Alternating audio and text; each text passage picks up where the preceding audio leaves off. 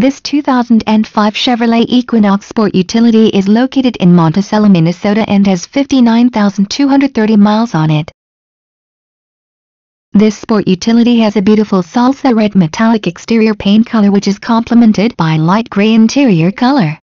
This vehicle features power windows, power door locks, tilt wheel, remote keyless entry, cruise control, and many other features.